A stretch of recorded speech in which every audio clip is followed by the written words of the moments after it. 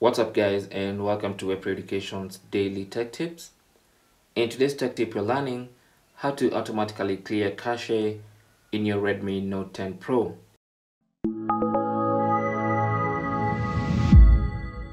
Now your cache memory on your smartphone keeps data that it thinks you might need to use to improve your user experience, but this sometimes clogs your memory and drains your battery.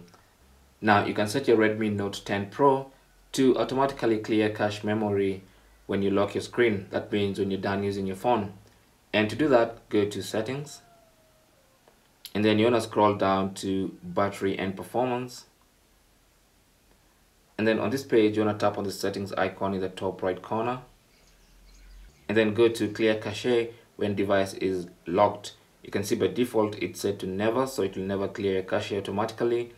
But you can set it to clear maybe 5 minutes after you lock your screen.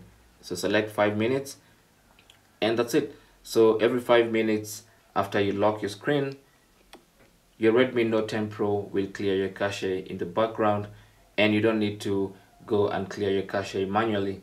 That's how to automatically clear cache in your Redmi Note 10 Pro. Thanks for watching. You can leave your comments and questions down below. Don't forget to share and subscribe for more tips until the next one, my name is Chris, and I'll talk to you guys soon.